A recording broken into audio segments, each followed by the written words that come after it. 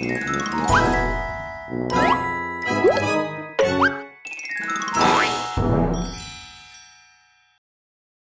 suis Marie-Claude Bonsel, docteur vétérinaire et professeur au Muséum national d'histoire naturelle. Bonjour Marie-Claude, est-ce que vous pourriez présenter les différents aspects du métier de vétérinaire? Quand on veut être vétérinaire, on pense tout d'abord à son chat ou à son chien. Donc, c'est les vétérinaires qu'on appelle canins, qui font aussi d'ailleurs chat-chien, mais aussi les NAC, nouveaux animaux de compagnie, euh, les lapins, les rongeurs.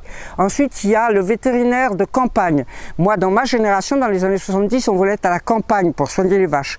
Il y a ensuite le métier dont tout le monde rêve, vétérinaire d'animaux sauvages. Mais les places sont chères, elles sont en parc zoologique. Il faut en plus beaucoup, beaucoup de stages avant, et c'est très mal payé paradoxalement par rapport aux deux autres métiers.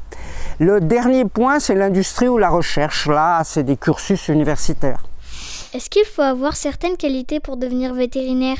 Quand on veut être vétérinaire, je pense, comme tout le monde au départ, qu'il faut aimer les animaux. Oui, absolument. Mais il faut surtout les respecter. Parce que eux ne vous aiment pas forcément.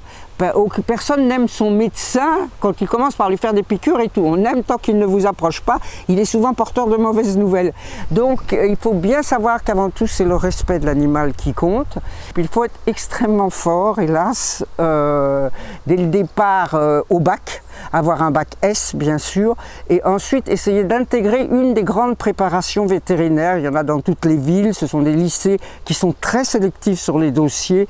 Il faut essayer vraiment de s'engager pour ça, et là vous avez deux ans euh, d'études préparation vétérinaire. Ensuite, on intègre une des quatre écoles vétérinaires, suivant son rang. Bon, Alfort, Nantes, Lyon ou Toulouse. Et on aura là cinq ans à passer, trois ans d'études fondamentales, un an de spécialisation, un an de thèse, et puis après on peut continuer encore. Ça vaut le coup, oui, ça vaut vraiment le coup toujours. Parce que de toute façon, on va apprendre sans cesse toute sa vie quand on est vétérinaire. Parce que les choses évoluent très vite, cette science évolue parfois plus vite que la médecine. Maintenant, elle correspond avec la médecine.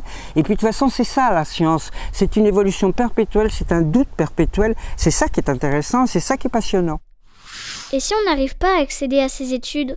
C'est vrai que si on n'y arrive pas, qu'on pense qu'on n'est pas assez bon, on peut tenter soit euh, auxiliaire vétérinaire, assistant vétérinaire, soit voir, pourquoi pas, toiletteur ou dans les refuges pour chats ou chiens, ou même parfois aider dans des refuges euh, euh, bénévolement, plus ou moins, d'animaux sauvages. Il ne faut jamais perdre de vue qu'à partir du moment où on veut travailler avec les animaux, moi j'aurais fait n'importe quoi, vous voyez, on m'avait dit, au lycée de jeunes filles de Versailles, on m'avait dit vous n'y arriverez jamais, les filles ne sont pas prises, euh, c'est un métier salissant, il faut jamais abandonner. La passion, ça, ça permet toujours d'arriver, même si les études sont difficiles. Merci beaucoup.